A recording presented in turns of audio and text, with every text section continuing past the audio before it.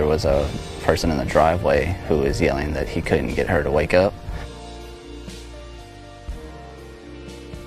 I actually had him leave the area and then I advised dispatch that I was going to go try to get inside the house. She had went from the living room to the kitchen area trying to get into the garage which was on fire and I actually had to hold the door closed where she couldn't open it and pull her away from the door. The fire department later stated that if she would have opened that door, the fire from that was in the garage would have possibly burned both of us while we were in there. Well, I've had some pretty crazy calls, but this was probably one of the craziest with the best outcome. Um, she did lose her house, but we were able to get her out of the residence with her dogs.